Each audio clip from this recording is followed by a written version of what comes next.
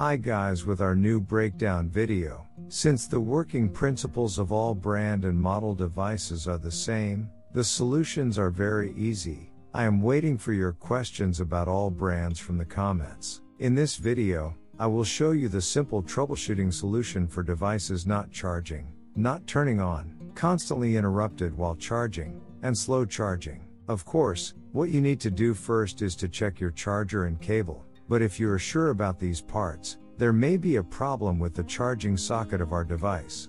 Let's see how we can solve this for free. The brand of our device can be Samsung, Lenovo, Apple, Mi, Honor, HP, Huawei, Redmi or other brands and replica products. This is a valid repair for all. I am waiting for all your questions in the next repair process. I will answer you quickly and offer you the most suitable repair cost. As a very simple process, you can easily solve your problem by following what I did step by step. Unfortunately, many repairmen do not share this information with you. Since our videos are step by step troubleshooting videos, I will add my other step by step method videos to the explanation and to the end of the video. You should also apply them. When we move our device a little while it is charging or change the direction of the cable, we see that the charging process does not continue properly. Our aim is to solve this problem. These malfunctions can usually be caused by oxidation that may occur in our charging socket and charging cable. As you can see this malfunction, we will use a contact cleaner lubricant of the WD-40 or equivalent 404 brand that I use. Our devices may sometimes lock, may not turn on, may not charge. In this case, the solution may be very simple. Our device is currently charging with the value of 5 volts and 3 amps that appears on our meter. 3 amps is really a very low number. After the repair process, let's see how many amperes of electricity our device will start to draw.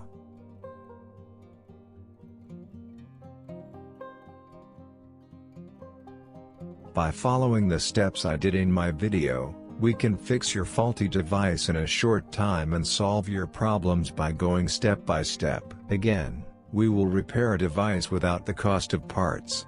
The fault solution is almost the same in devices with this and the same working principle, it is useful to follow the same methods. You can write your problems about all other devices you want to get information from in the comments. Our expert staff is waiting for you to answer your questions. All of our expert staff are waiting for your questions about your tablet phone, computer and all your electronic devices and are looking forward to answering them.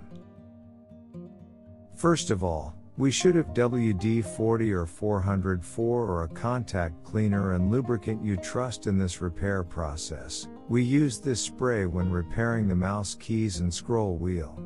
And it was a very easy fix. We squeeze a small amount of our contact cleaner into the charging socket and by plugging and unplugging the charging cable a few times, we make this oxidation more effective through friction.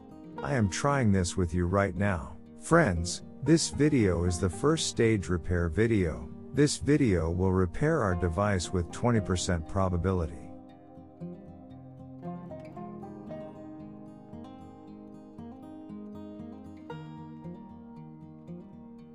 Friends, at the end of our video, you'll see what a great job we have done. While making repairs, it is necessary to give great importance to the cosmetic appearance.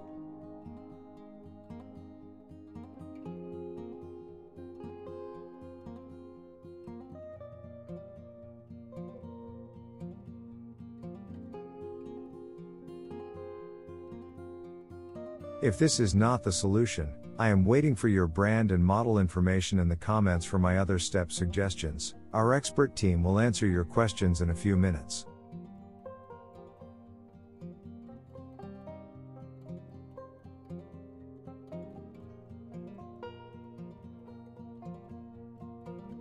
We connect our cable and try again. Let's see how the result will be. We will try with different 5 volt outputs but our amperage value will vary. We see that the repair we made was successful. It is a simple repair that we can do at home. You can recommend it to everyone. The device receives 8 amps of electricity. This is approximately three times the amount before the repair. We found the defective part of our device. If the fault is not resolved by cleaning, this part will have to be replaced. We clean the oxidation by dripping WD-40, contact cleaner, or disinfectant as I applied. I recommend you to subscribe and browse our other useful videos. I would be very happy if you recommend my channel to your friends. Even though we moved the cable, there was no interruption in the device charging. We saw how successful our process was. You can also apply the same process to your devices. By removing oxidation with WD-40 or 404 lubricant contact cleaner, the charge of our device becomes more stable and I have experienced this many times and wanted to share it with you. If you want to increase the life of the device by 10 years with a low budget, you should apply this video. You should also see the positive comments in our other videos. In all of our repair processes, we repaired our device very easily and cost free, and you can fix your faults by following the steps I have done. Our devices may sometimes lock, may not turn on, may not charge. In this case, the solution may be very simple. Friends who did not get results from this video, I will add the second stage video link to the explanation section. If you apply our second stage video, it will repair your device with a 30% probability and the result is a very happy development. You should definitely try it. We got very good feedback in our previous videos. Write your result in the comments and we will reply.